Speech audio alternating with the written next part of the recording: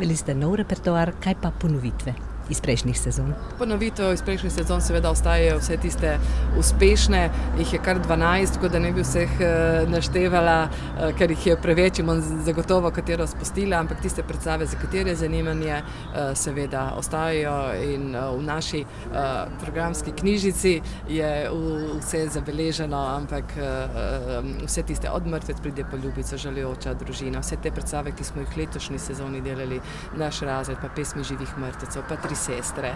Stenica. Stenica je še iz prejšnje sezone, ja, tako da jih je res kar uh, cela zbirka. Morda spregovoriva še o Bonmaju, so kakšne novosti? Ja, letos je kar ena velika novost. Nekako smo se odločili, da eno predstavo si bojo lahko obiskovalci sami izbrali med gostujočimi uprizoritvami.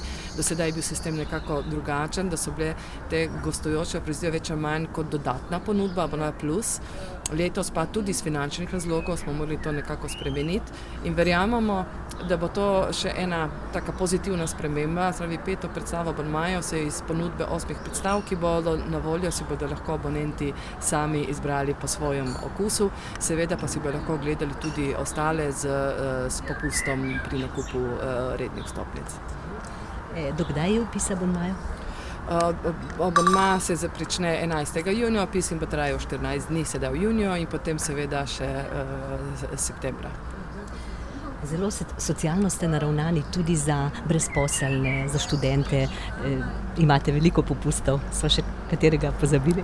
Ja, res popusti za dijake, študente, upokojence, e, e, tudi za brezposelne pri nakupu abonmaja, seveda pa brezposelni lahko pri predstavah, kjer ostajajo stopnice, dobijo tudi brezplačno, pač s potrdilom, ki ne sme biti starejša od pol leta, to se je pač ne zahteve tudi zakonodaja, ne? ampak jim omogočamo takrat, takrat, ko so uh, vstopnice na voljo, uh, si lahko pri blagajni pred predstavo uh, premijo s tem potrdilom. Tako, nekako se trudimo, tudi ceni smo poveševa, pove, poviševali že kar nekaj let, mislim, da že kar. Sedem, osem let ostajamo pri istih cenah, želimo si namreč, da je gledališče dostopno res uh, vsem, oziroma najširši možni publiki. Torej, sedaj smo predstavili tisti lepši programski del, kaj pa tehnično, boste kaj obnavljali?